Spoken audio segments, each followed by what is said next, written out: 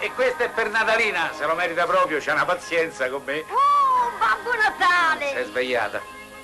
Te ne vai? Eh sì, c'ho tanti bambini e nonnine che mi E aspettano. se ti offro una cosa? Eh, vado.